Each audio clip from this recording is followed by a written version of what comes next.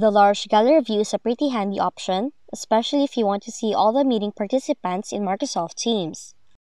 But if yours stopped working all of a sudden, reverting you back to the 3x3 grid view, follow these steps that we have for you in this video.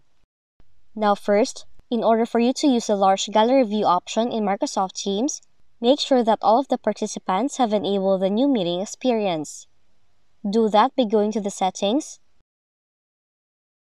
click General, and under the application, select Turn on New Meeting Experience, and then restart your Microsoft Teams again.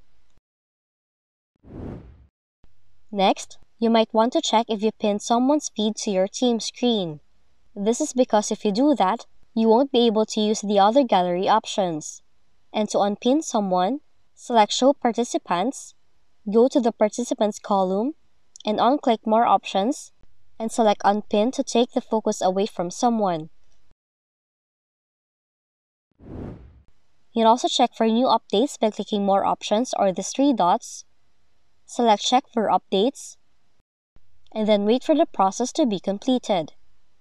Now you may have to do this since the large gallery view option is not available in an outdated application versions.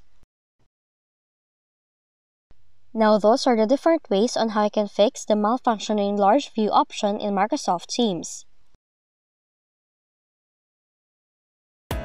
If you found this video helpful, kindly like and subscribe. You may also click and turn on the notification bell so you can be notified from whenever we release new videos.